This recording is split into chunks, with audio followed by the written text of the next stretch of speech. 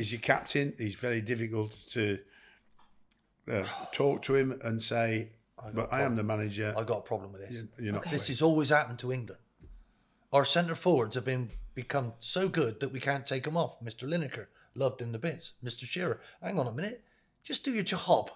I don't want to rely on Harry Kane all the time. Get someone else in there and, and maybe leave him out every. I know he's a brilliant player, but we have to move past like we did the same with Wayne Rooney. And when Wayne didn't play that well in the World Cup, we didn't do very well. So let's share out that responsibility. Who are you giving it to? Who are you giving would- it to? Callum Wilson for me. Give it to Okay. Callum Wilson, a Callum bloke who's banging form. banging form. Yep. Laid on a goal.